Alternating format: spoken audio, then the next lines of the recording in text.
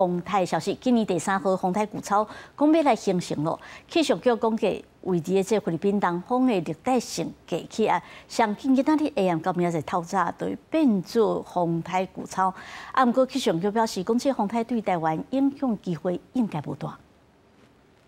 这个热带性低气压未来有啊形成台风的几率，不过整体来说，由于它的路径是朝琉球南方海面，接续会往日本南方海面移动，所以以目前的资讯评估，直接影响台湾的几率是比较低的。